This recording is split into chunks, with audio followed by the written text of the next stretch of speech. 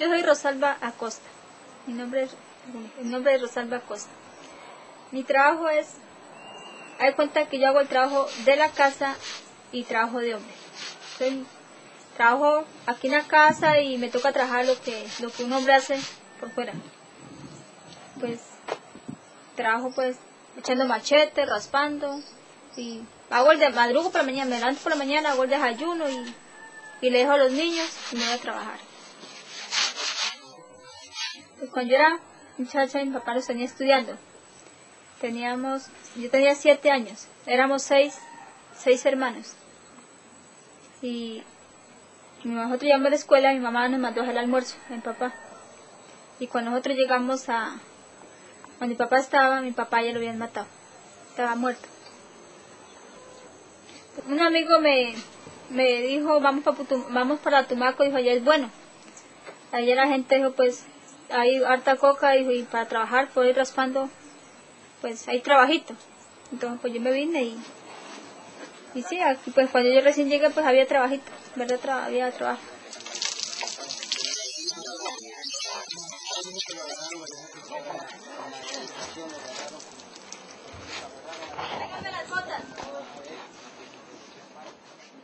Yo como no tengo recursos y soy sola y además mis tres hijos son pequeños, yo la vendo en hoja.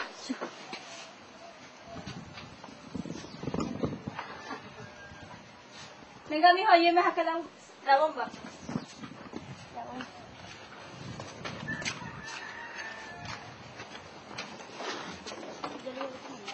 Lleve la bomba.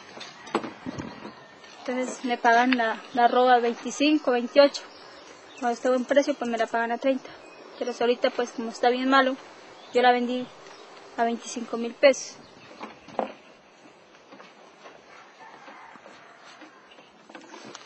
Queremos que el gobierno, así como él está, pues que nos apoye, porque yo creo que él también tiene hijos, tiene nietos, lo que tenga, pues él puede estar bien allá porque tiene pues su forma, su forma de su comodidad y uno no tiene nada.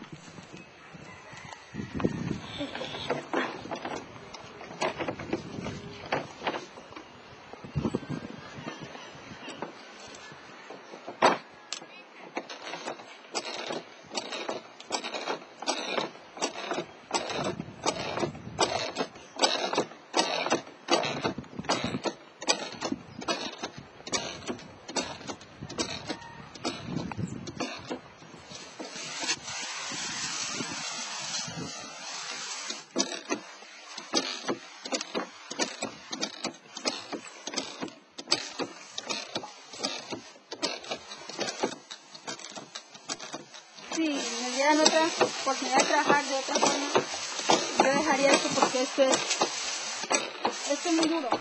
Para una mujer es duro. Y para, para cualquier otra persona esto es duro.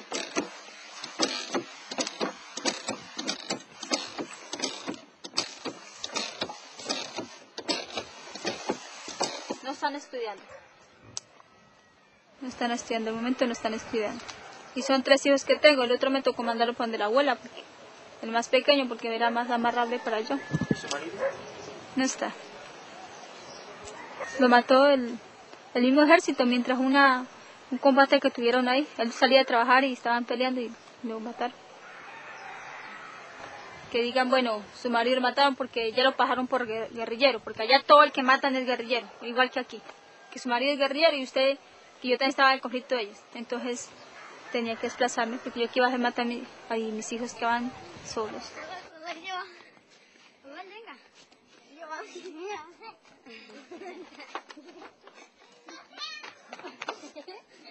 Pues forma desplazada, porque más no hay nada que hacer aquí. Sí, y hay cuenta que el gobierno lo desplaza a uno porque ¿qué ayuda le está dando? Pues desplazar al gobierno, pues desplazar a la misma violencia porque él mismo la está destruyendo. ¿Tienes mucha violencia por aquí? Pues ahorita pues sí, he matado. Ahorita es que no han matado tanta gente, sino el diario son 3, 4, 5, 6 muertos.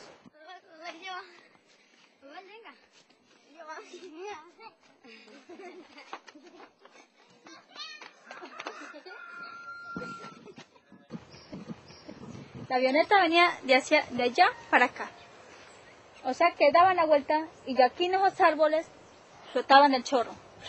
Y pasaban. Y ahí los tenían y se iban así. A la derecha allá. Volvían, daban la vuelta y volvían aquí.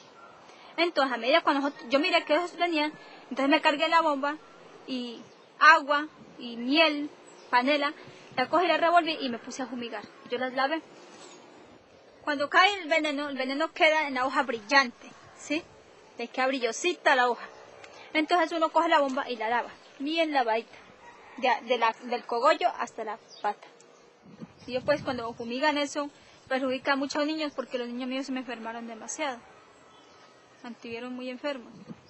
Pues creo que pues es que ahí dice el presidente que no sé, no, no, tiene no, he sido el del- de la mente o no sé qué es que le pasa al señor Uribe, el presidente, porque él debe darse cuenta que no es solo la mata que la perjudica, nos está perjudicando a nosotros y está matando muchos niños, porque con esa fumigación que él hizo, muchos niños se murieron. A muchos niños les fa- fallecieron por esa fumiga.